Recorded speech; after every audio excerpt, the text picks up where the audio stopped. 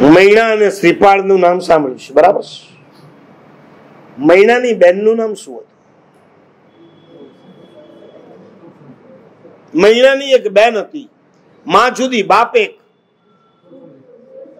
આ ગયા વર્ષે નૌપદના વ્યાખ્યાન નથી સાંભળ્યા ને એમાં ભૂલાઈ ગયું. સુર સુંદરી.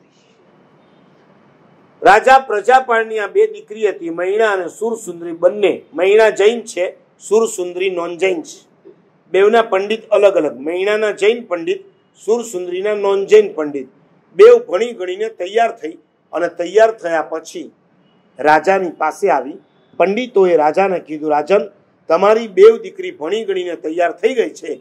રાજસભામાં એની પરીક્ષા લેવી હોય તો લઈ શકો છો. એ કાળ એવો હતો. ભણેરાની શું લેવાતી હતી? આજે કોની લેવાની? કેટલું ભણ્યા પછી તમારી પરીક્ષા લેવાની? બોલો જલ્દી. SSC twelfth BCom MCom MBA કોની એક્ઝામ લેવાની?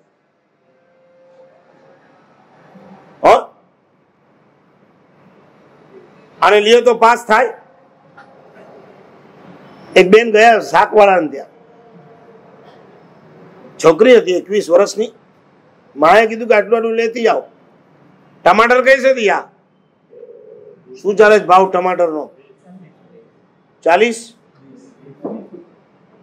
કેમ ભાઈ, જતા નથી તમે? તો ટોકાટોક કરો છો? આ બધા જતા રહીએ છીએ, એટલે ખબર છે એમને. ઓલાએ કીધું, વીસ રૂપિયા કિલો, ડાલો. ખરબૂજા કૈસે દિયા તડબૂજ હોય ને, હિન્દીમાં ખરબૂજા. લેલો, આધાર લેલો, સો રૂપિયા મેં આટલું મોટું ખરબૂજા. અને એને થેલી ખોલી भैया जी के इसमें हाँ इसमें डाल दो भैया जी चकराई गया इन्हें कीधु बहन जी आप बीकॉम पढ़े लगते हो बोली खुश भैया जी आपको कैसे पता चला मैं बीकॉम पढ़ी हूं पहले टमाटर लिया उसके ऊपर खरबूजा लिया उससे पता चल गया कि आप बीकॉम पढ़े ઘરના એક કામ કર્યા ન હોય એની આ હાલત હોય એટલે હું મારા મા બાપના પ્રવચનમાં ઘણી વાર કહેતો હોઉં છું કે અપેક્ષાએ દીકરા કરતા દીકરીઓ મા બાપનું ધ્યાન ઓછું રાખે છે. દેટ મીન્સ દીકરો તો પરણ્યા પછી પણ હજી મા બાપને સાચવશે. જે દીકરી બાવીસ વર્ષ સુધી ભણવાનું, ચોવીસ વર્ષની ઉંમરે પૈણી જવાનું, વચલા બે વર્ષની અંદર ફેશન ડિઝાઇન કરવાની, ફલાણી ડિઝાઇન કરવાની જ્વેલરી ડિઝાઇન કરવાની, એ કોર્સમાં પૂરા કરવાના તો એને ઘરનું કામ ક્યારે કરવાનું? એની માને હેલ્પ ક્યારે કરવાની?